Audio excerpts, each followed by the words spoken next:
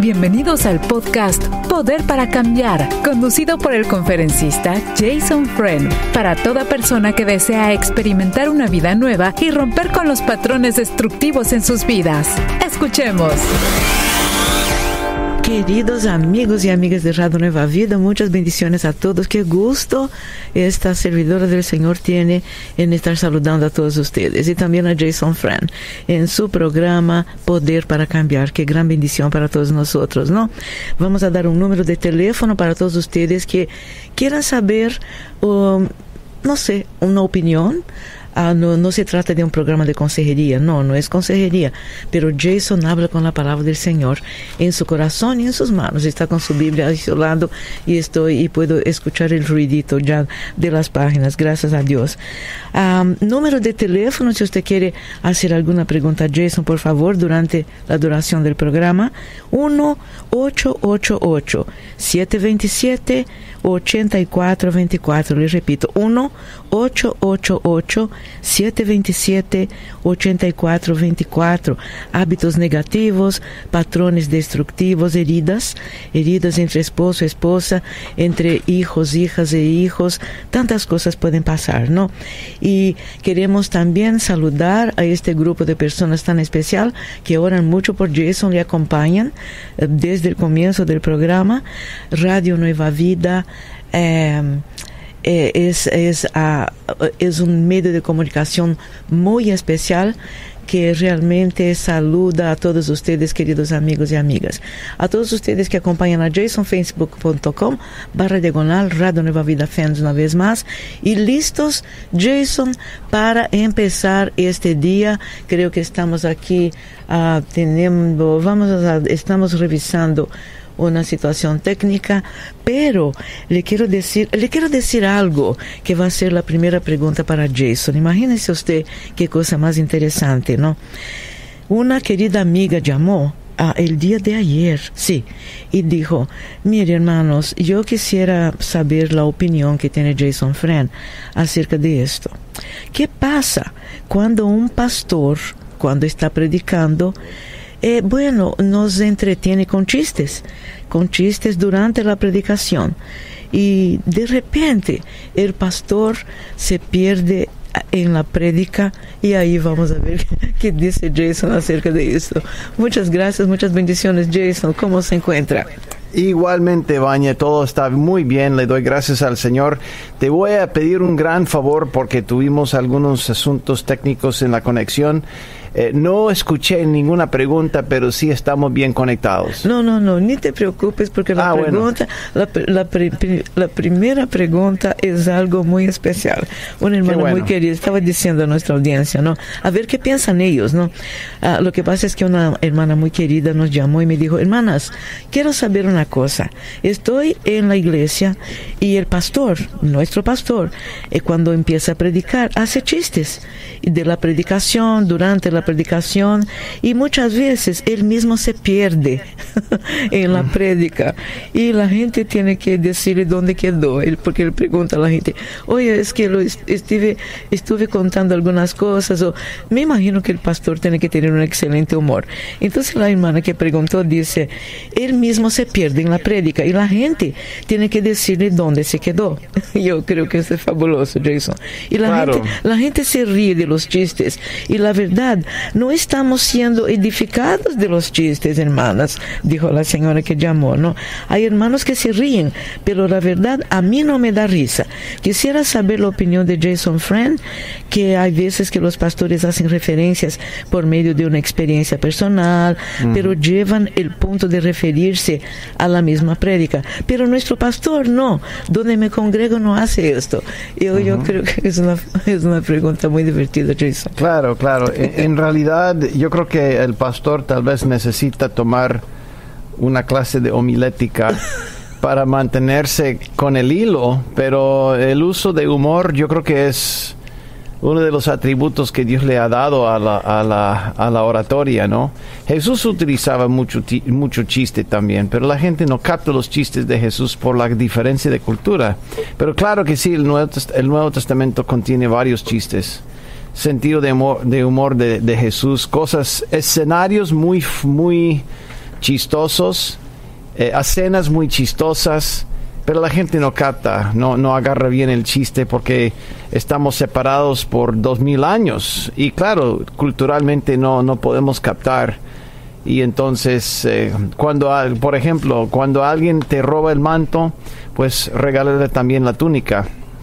Entonces, lo que la gente no sabe es que el judío, el judío eh, promedio llevaba dos tres pedazos de, de ropa primer lugar la túnica, segundo lugar el manto y en tercer lugar eh, sandalias. Entonces si uno le roba el manto, regálele también la túnica, significa que estaría ahí de pie simplemente con sandalias nada más. Y la visión, o sea, la imagen es muy chistoso porque uno estaría totalmente desnudo pero con sandalias. Entonces, pero, la, pero nuestra cultura no capta el chiste nosotros no agarramos el chiste, pues el, contar el contar el chiste no es el problema, es salir salirse del hilo y no volver al hilo.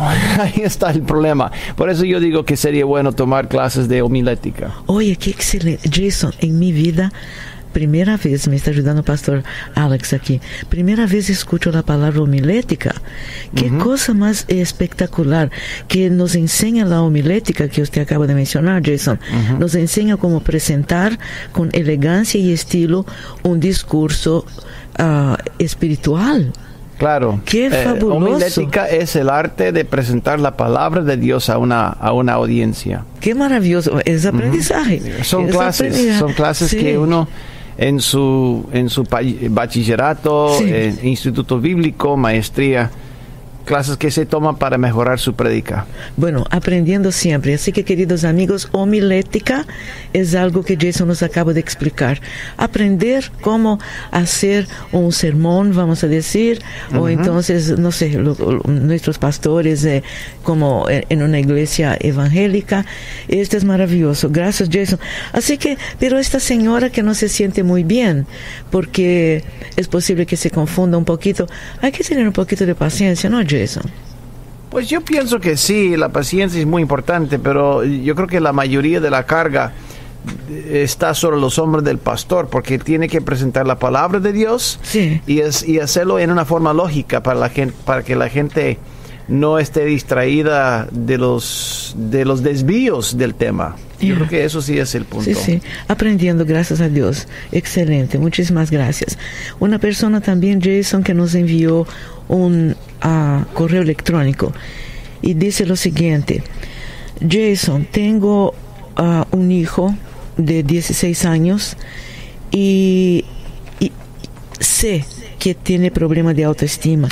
Lo educamos, lo, tratamos muy bien, lo, lo, amamos mucho, le educamos, le estamos eh, educando muy bien, con buenas escuelas, pero sigue el problema de la autoestima. Entonces la pregunta mía es la siguiente, Jason. ¿Cuál es vamos a decir, la perspectiva bíblica acerca de la autoestima, de una imagen corporal, en el caso de mi hijo que tiene 16 años, por favor? Bueno, yo creo que el, deber de los padres es, es a sus hijos en, en lo que es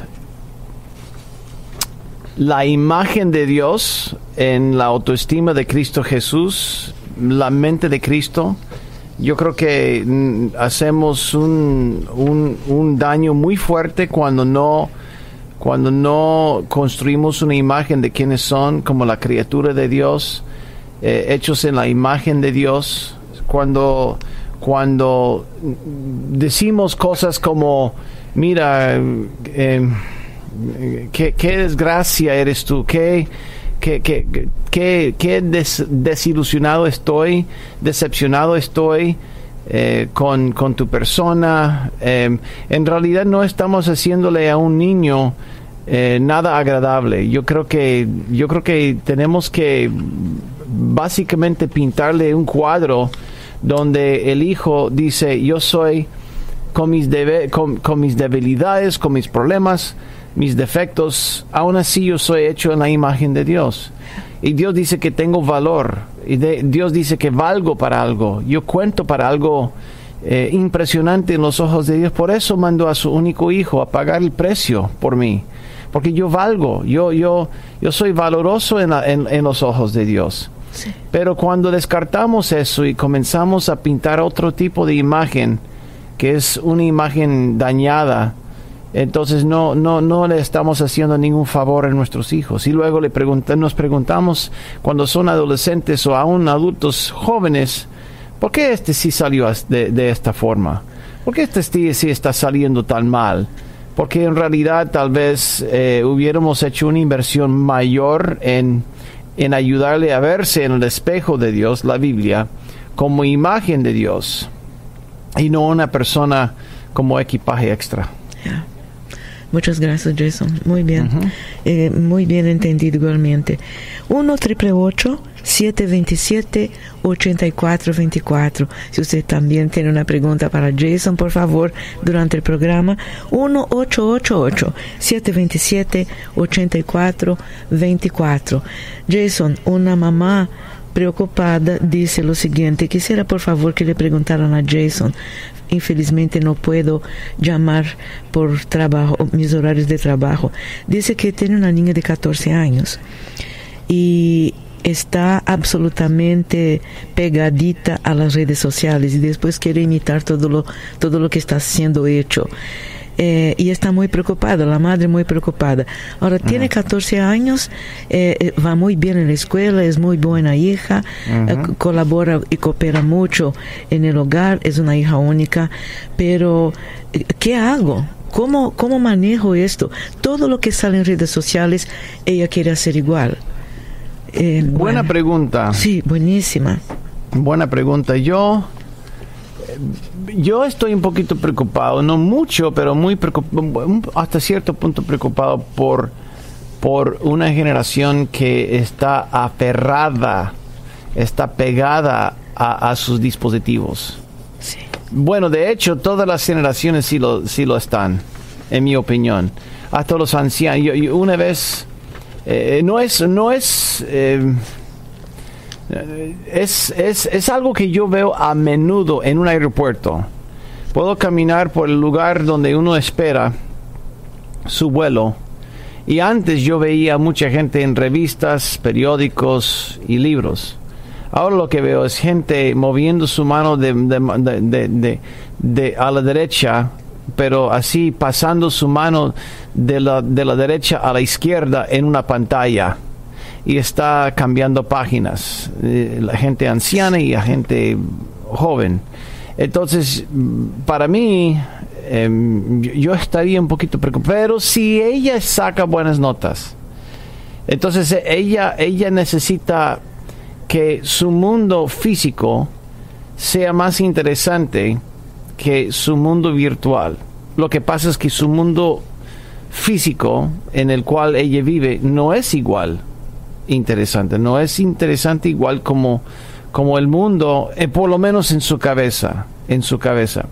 Cuando yo recibo a mi nieto en la casa, la llegada para mis perritas es como si fuera Paul McCartney llegando a mi casa. Mis perritas se vuelven totalmente locas al verla, al verlo a él.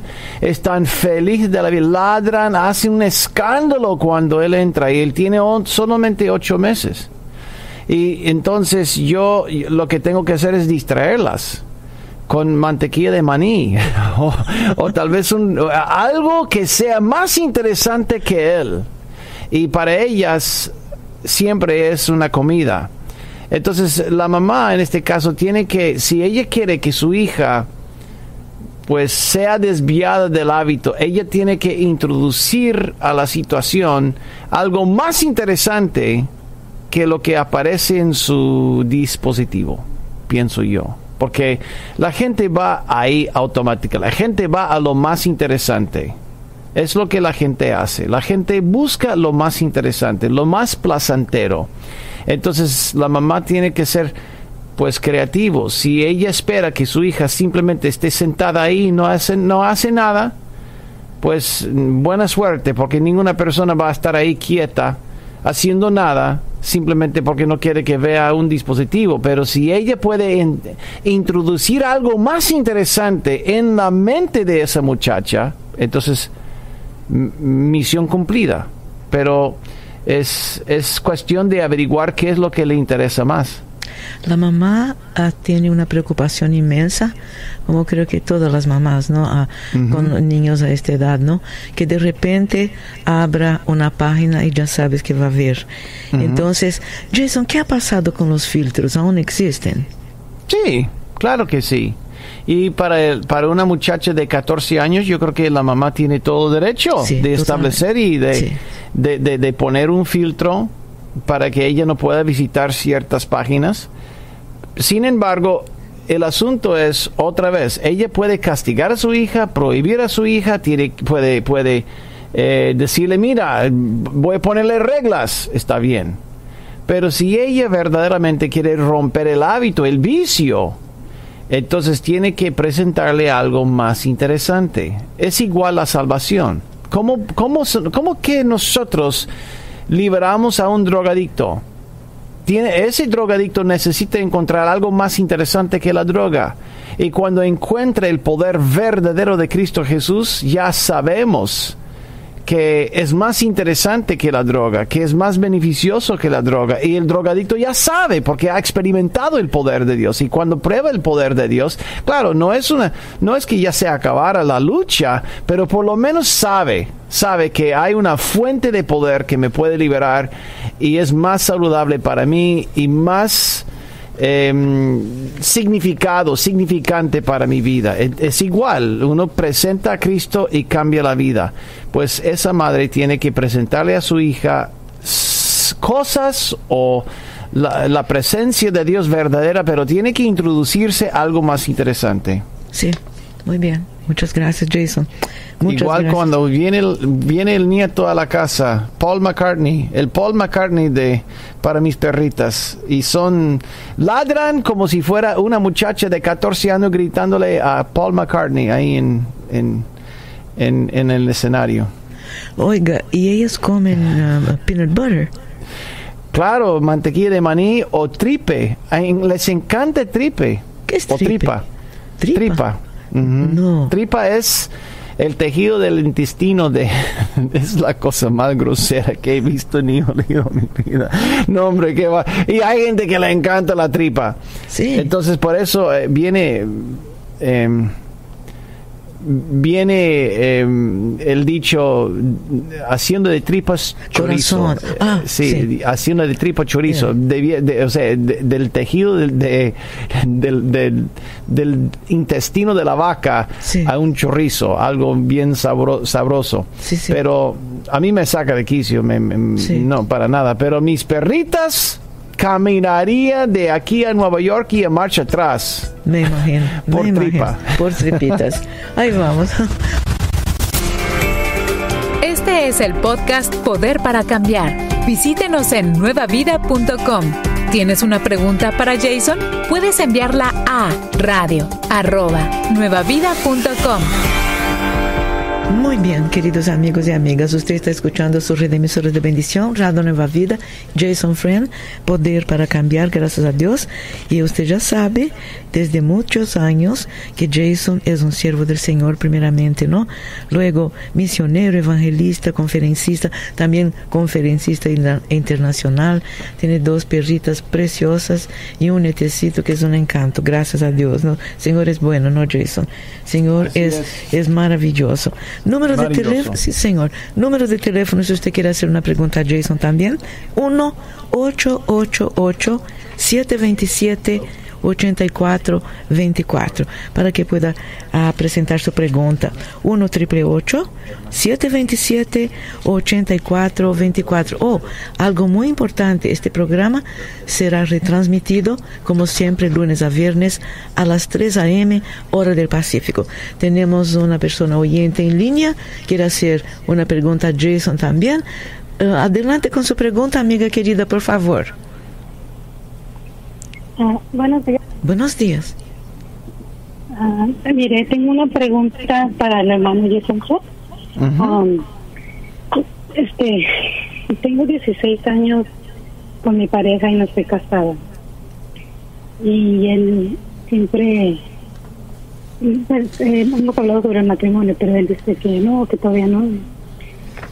Um, que todavía no está preparado para. Pues sí, que todavía no, que, que después, que después. Este. ¿Qué puedo hacer?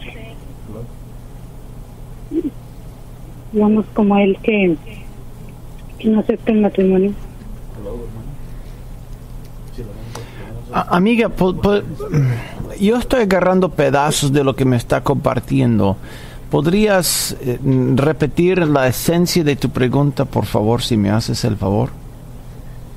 Sí, mira, tengo ah, 16 años viviendo con mi pareja Ujú, y él, yo le, le, le he dicho que nos casemos.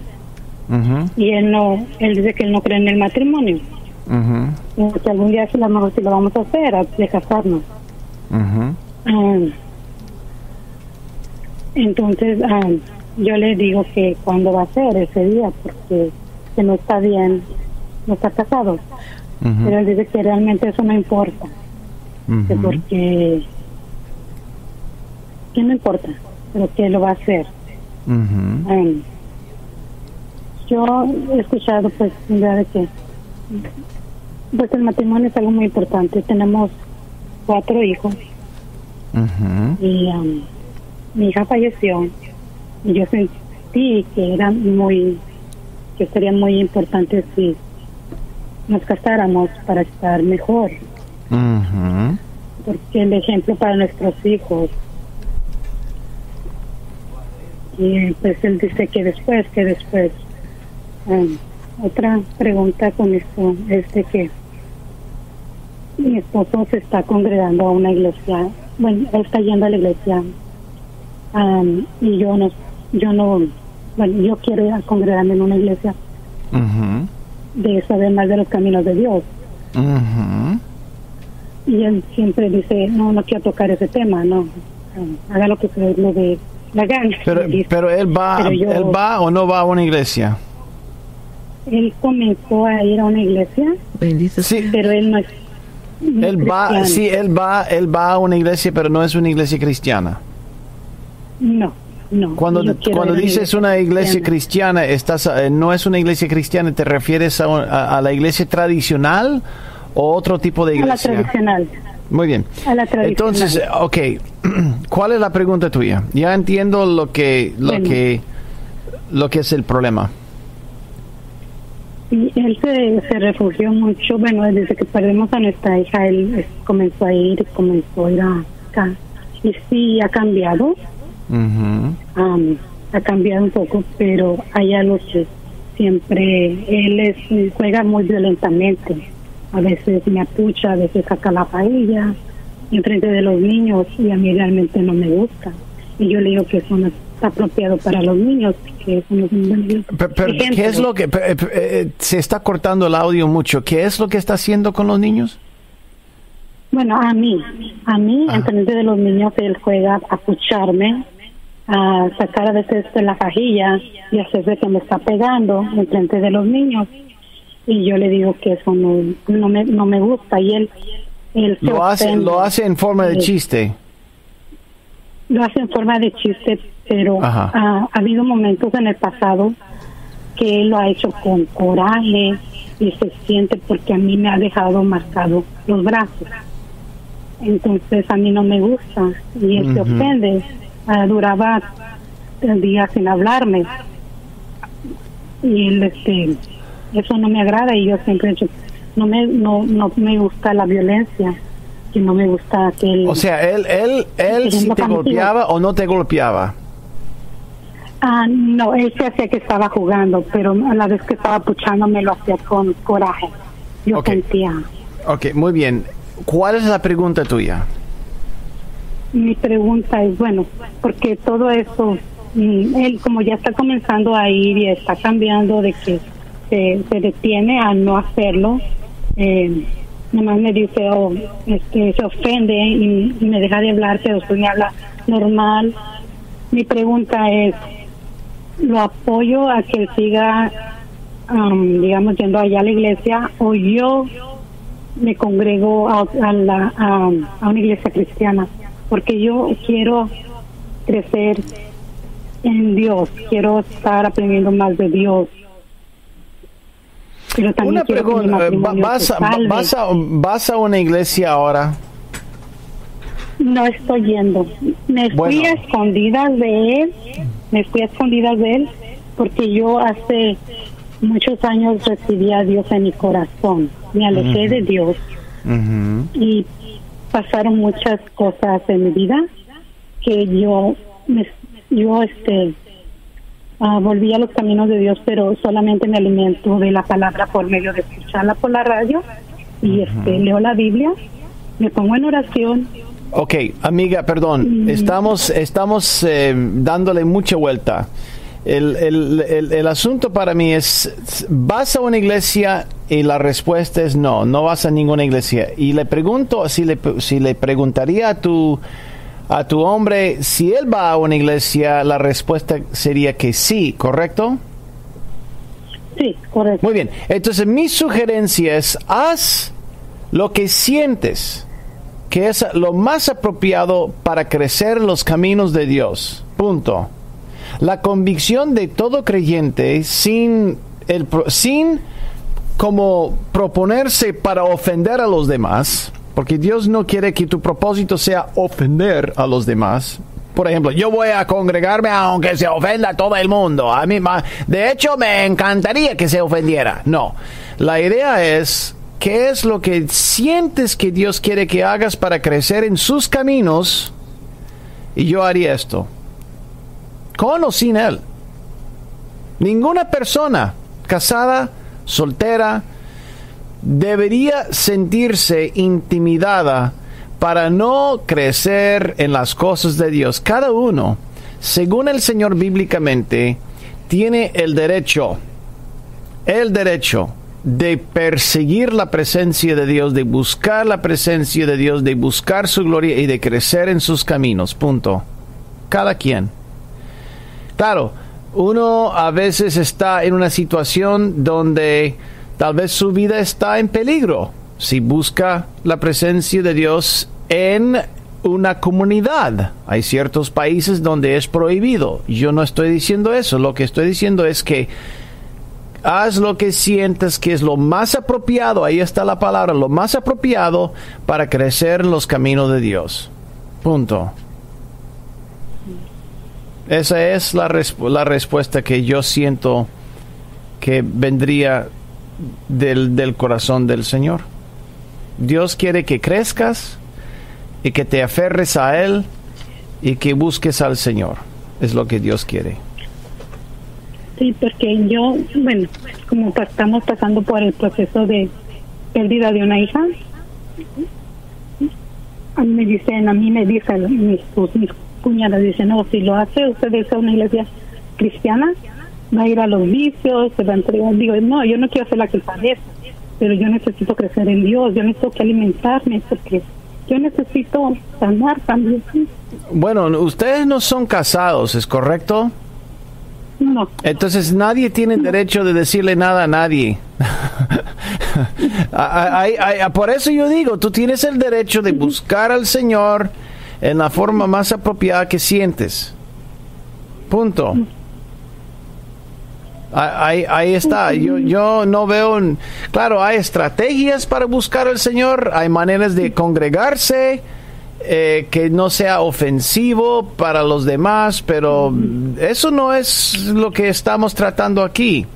Aquí no estamos tratando con estrategias o qué hora de la, del día que vas al culto o qué día de la semana vas o si es un sábado en la noche o el domingo en la mañana o el viernes en la, en la, en la tardecito en la noche. Eh, Esa estrategia no, no es parte de la conversación. La- la- el corazón del- del- de la conversación es tú como mujer tienes derecho de buscar al Señor en la forma que sientes que es lo más, lo más apropiado. Punto. No son casados, pues nadie tiene vela en ese entierro, solo tú. solo tú. Jason. Jason, Adelante, una, Vania, por una- favor. Una pregunta. ¿Y cómo él tiene, el- cómo él sigue teniendo el derecho de darle trancos en los brazos? Que eh, eh, nosotros hablamos con ella, ella llamó anteriormente y queda con los brazos todos marcados por los trancos que No, es, sí, sí. Entonces eso es, sí, sí, definitivamente es abuso. Yeah. Ella me dio la impresión de que lo, lo hacía como forma de chiste, burlándose o haciendo comediante que es diferente, pero dejando marcas en los brazos es diferente. Claro, es, es una forma de abusarse de ella. Sí. Hermana, sentimos mucho, hermana, por esto. Sí. Pero ah, Jason dice, Yo solo contesto la pregunta que me haces. Ya. Si ella dice debería quedarme con él, pues tendría otro tipo de respuesta. Pero no me hizo esa pregunta. Solo contesto lo que la gente me, me pregunta. Bueno, hermano, hay un tiempecito. Si usted quiere preguntar algo más, por favor. Sí, sí, yo le, yo le había sugerido a él que si podíamos ir como a consejería matrimonial, a algo para que nos Este. ayudara a mejorar la relación. ¿Viste? Y él siempre, oh, no, no, no, yo no. Dice, usted vaya, usted vaya. Pero yo sé que para que una pareja trabaje bien, tienen que ser los dos. Um, Claro. Mi entonces- pregunta, mi entonces, pregunta, eh, mi pregunta No. para ti, y no estoy diciéndote que haga tal cosa, no- que no haga tal cosa, no estoy preguntándote, quiero aclarar eso. Mi pregunta para ti es por qué te quedas con una persona abusiva.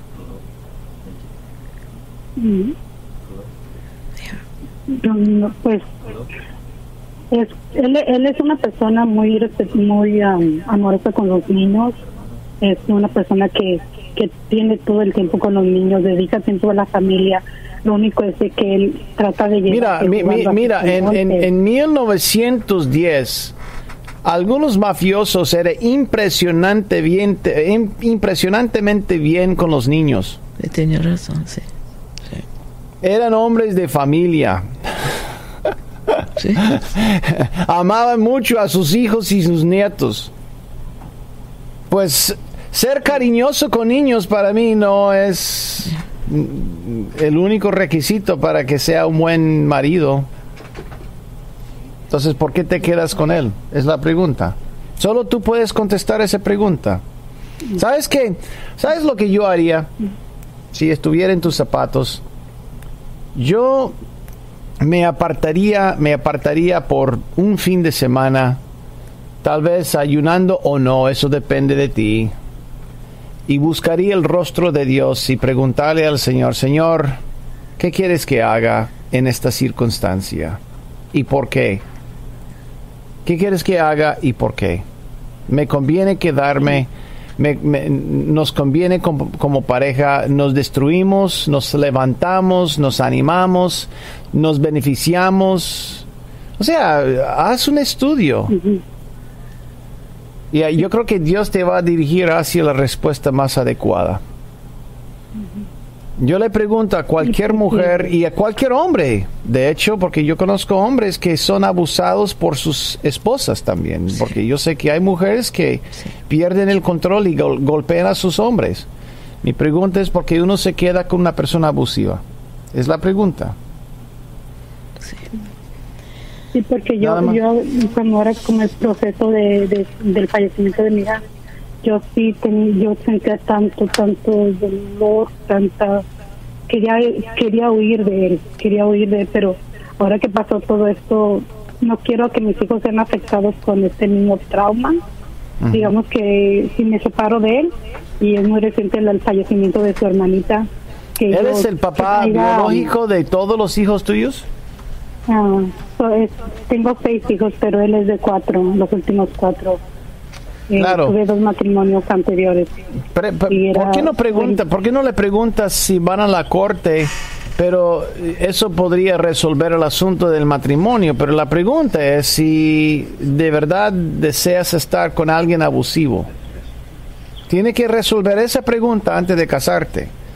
Porque yo te, yo te aseguro que al casarse no va a resolver los problemas. La gente piensa que en el momento de decir sí lo acepto, automáticamente se resuelven todos los problemas. No, ahí comienzan los problemas. Tienes razón.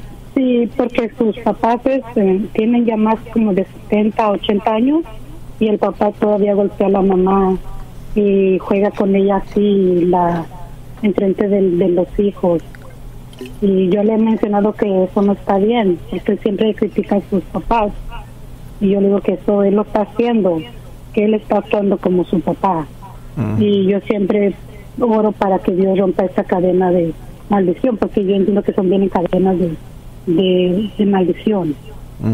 Y- pero yo le digo a él que él que él está actuando como su papá y no está bien Es correcto. eh, que él necesita de Dios que él necesita de Dios Em, porque yo traeba siempre tengo mi música así él, él trata de quitarme de quitar mi sticker lo que sea de la del carro de mi carro y no quiere que yo escuche pero yo escucho la palabra de Dios porque yo le he dicho a él que es de, Dios. Dios que yo me estoy fortaleciendo y Claro. que, él es- que de él yo recibo todo el consuelo Eh, él, él ya Bueno. dejó de- ya ya ha cambiado en eso pero sí Bueno, vamos a orar, vamos a, hagamos una cosa, vamos, claro, vamos a orar por ti, vamos a orar por la circunstancia, porque realmente sobre todas las cosas lo, lo que ocupas, lo que necesitas es la sabiduría de Dios. Es lo que cada uno necesita más que cualquier otra cosa, la paz y la sabiduría de Dios. Señor, te pedimos, Señor, que tú le hables directamente, le hables a esta mujer y tú pongas tu convicción de lo correcto en su corazón y también la disciplina, la fuerza para llevar a cabo la buena voluntad y la buena dirección tuya. Siempre tienes lo mejor en mente para con tus hijos, siempre. Nunca has llamado a un hijo para que simplemente sufra porque a ti te gusta cuando tus hijos sufran. No, yo sé, Señor, que amas tanto a tus hijos, que vas a hacer y arreglar piezas para que puedan experimentar lo que tú dijiste en tu palabra, vida, y que la tengan en abundancia. Bendícela a ella, bendícela a ella, levántala, úsala y ayúdale, Señor, a superar esta tormenta y háblale directamente cuál es el pronóstico y el curso y el rumbo más apropiado para ella. Y yo te pido, Señor, que, te- que, te- que se te acerque lo más pronto posible para que conozca tus caminos y nunca sea desviada. En el nombre de Jesús te lo pedimos. Amén. Muchas amén. gracias, hermana querida. Sí. Muchas gracias. Gracias, Jason. Realmente, nosotros que estamos del otro lado de la situación, ¿cómo nos preocupamos, no? Sí. ¿Cómo nos preocupamos? Estás escuchando el podcast Poder para Cambiar. Te invitamos a que lo compartas con todas las personas que conoces. Y si tienes una pregunta para Jason Friend, recuerda que la puedes enviar a radio@nuevavida.com. Muy bien, programa retransmitido, querido amigo, amiga, a las 3 a.m., hora del Pacífico, solo aquí por su radio Nueva Vida. Y un abrazo a todos ustedes que ah, llaman y que realmente tienen algo apretando su corazón, ¿no? Tantas veces pasan, nos pasa esto. 1 triple 8, o sea, 1 888 727 8424. Y Jason está con nosotros a lunes a viernes a esta misma hora y una vez más retransmitido su programa a las 3 a.m. hora del Pacífico. Tenemos una hermana querida en línea también. Quiere hacer o- una pregunta a Jason. Por favor, adelante, amiga. Sí, Dios le bendiga. Bendiciones. Igualmente. Este, yo hablaba porque ah, he tenido en este último año muchas muchas pruebas y hablo para pedir la, el consejo. Yo ya tengo tiempo congregándome en una iglesia. Mis hijos se congregan junto conmigo. Este, pero pasó algo en mi vida el año pasado que me cambió todo por completo. Este, todo empezó porque mi esposo me engañaba con, con otra persona. Hace, fue esto en el 2019.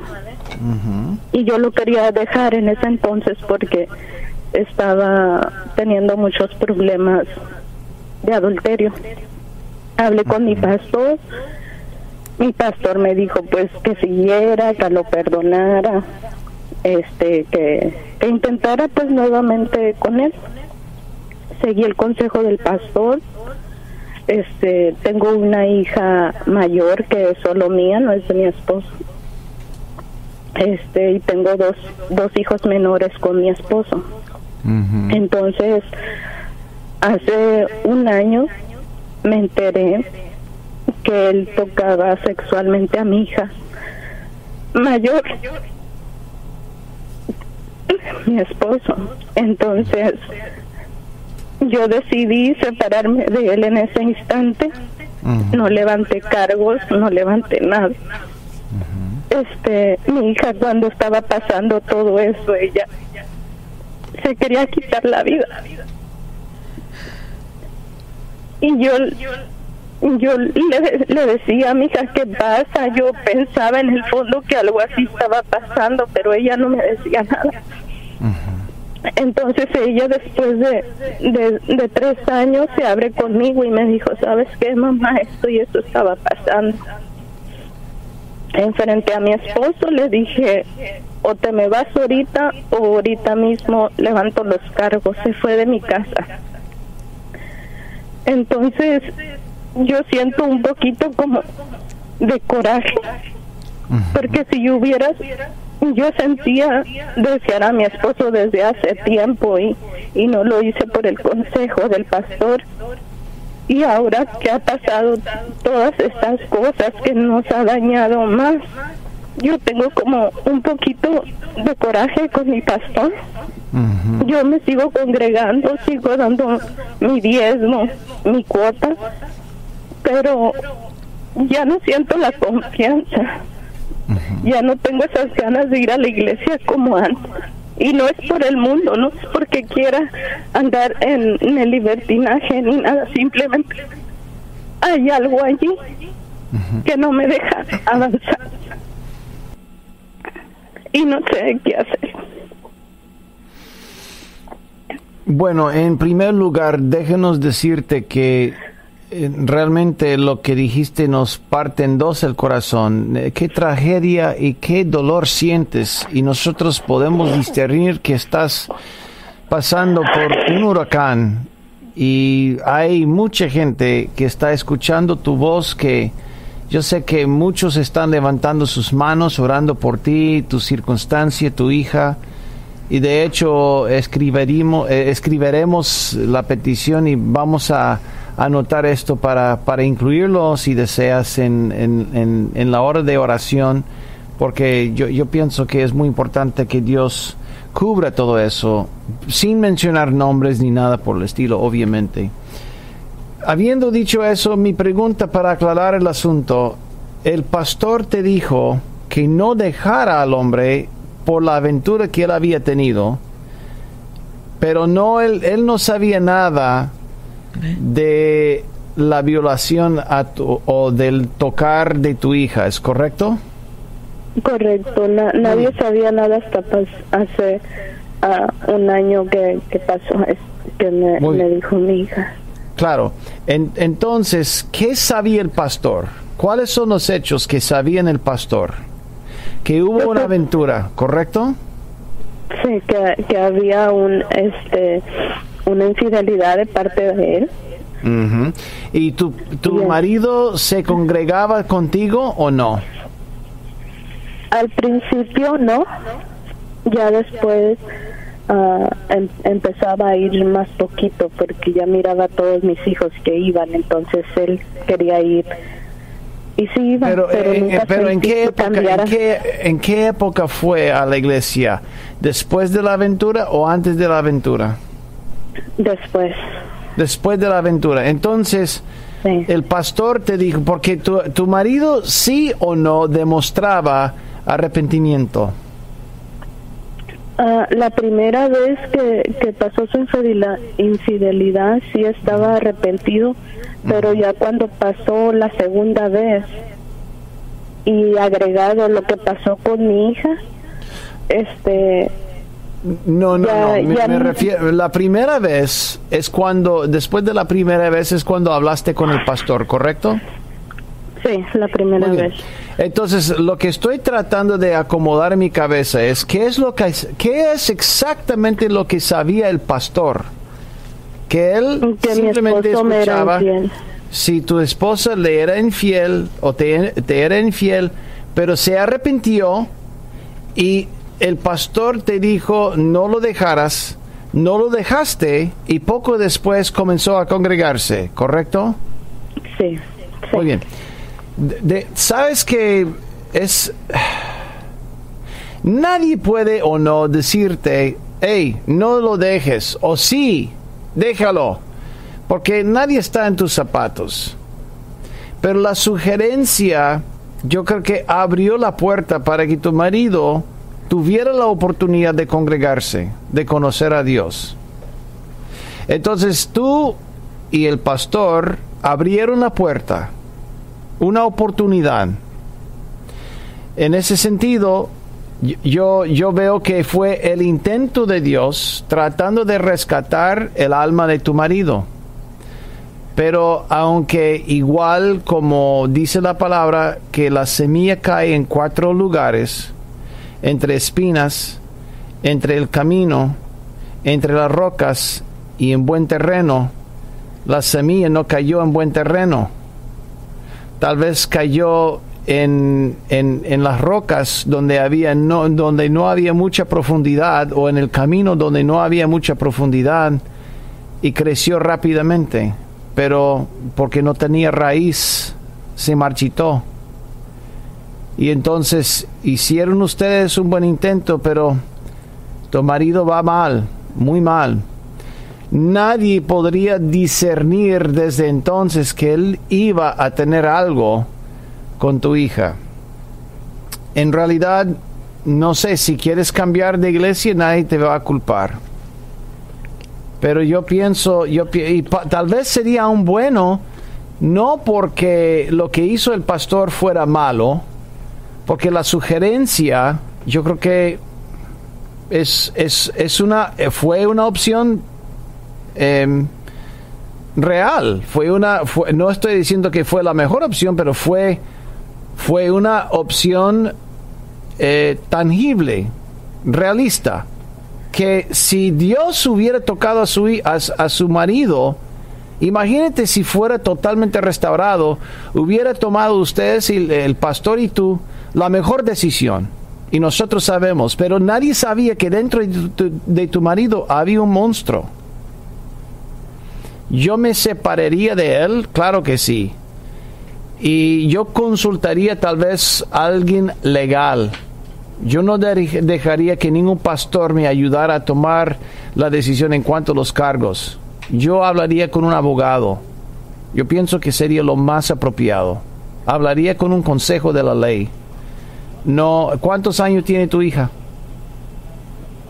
Ahorita tiene 13, pero eso sucedió cuando No, tenía ah, ya 10 años. No, mira, en, en- en- no puedo, no, no sé en qué estado estás, pero sí puedo hablar de mi estado. No importa que hubiera pasado hace tres años, siete años, eso no tiene límite, no tiene límite. Entonces yo pienso, yo pienso, yo hablaría con un consejo de la ley. Es lo que yo haría. ¿eh? Yo no, estoy- estoy- yo- yo- yo- no necesitamos escuchar el resto de los detalles, pero es lo que yo haría. Pero al cambiar de, de iglesia, si el motivo es cambiar de la, de la iglesia por resentimiento del pastor, yo creo que en ese, en ese sentido, el- el- a menos que el pastor supiera que el hombre eh, eh, estuviera en medio de otra aventura o que tocaba a las muchachas en la iglesia y no creo que él supiera eso. Pues el pastor es inocente en ese sentido. Pero si deseas cambiar de iglesia, escúcheme bien, si deseas cambiar de iglesia está bien, pero no por resentimiento del pastor, sino por borrón en cuenta nueva. Y nosotros y toda la audiencia entendería, puedes perdonar al pastor y borrón en cuenta, comenzar con otra página, un nuevo capítulo en tu vida, gloria a Dios. Nadie te va a culpar, para ti ni tu hija. Y yo, mira, lo más importante, yo le buscaría el mejor o la mejor consejera que hay, creyente, pero yo buscaría la mejor consejera y aún buscando mi consejo legal a ver quién realmente tiene que pagar esa cuenta. Pero es otra conversación para, para ti y una persona, un asesor legal. Pero es lo que yo haría. Sí, No sé si de hecho, la pregunta. estoy haciendo varias cosas legales, pero mi pregunta es cómo puedo sacar todo, todo este coraje e impotencia que tengo. Me entiende que yo estuve ahí en mi casa y, y no podía hacer nada. Y es una culpa que me está carcomiendo por dentro. Mira, yo, de nuevo, yo, yo, yo sé que está muy afligida, porque la primera pregunta que me hiciste tenía algo que ver con el pastor. No sé si estás resentida contra el pastor o si realmente estás resentida contra ti misma.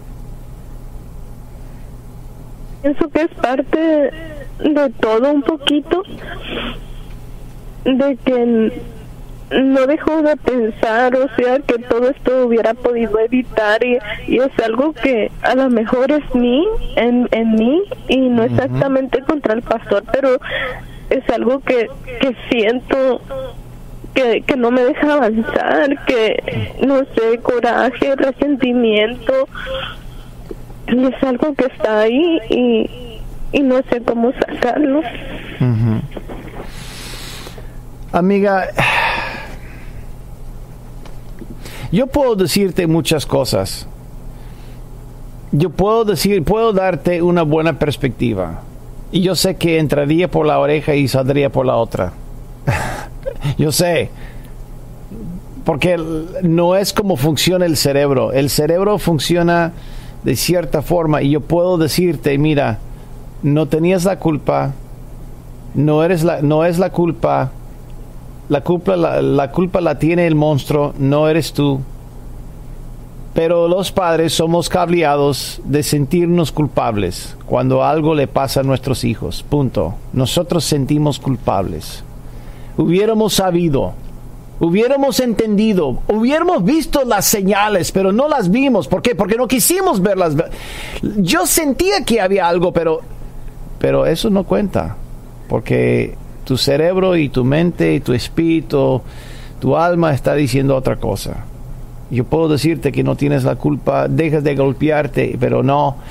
Lo que creo que necesitas definitivamente es buscar una buena consejera y sentarte a hablar con una buena consejera creyente y aún tal vez buscar un ministerio de liberación, creo que puede servir de mucha bendición.